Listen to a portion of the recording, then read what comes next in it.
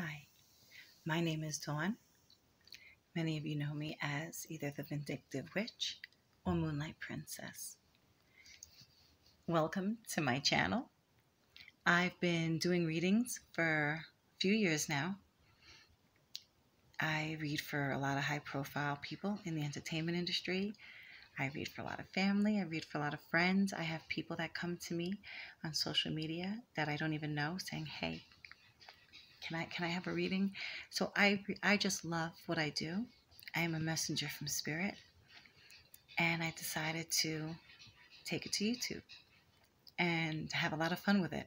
I'm going to be doing card readings, some little astrology, talking about some metaphysical stuff, little alchemy.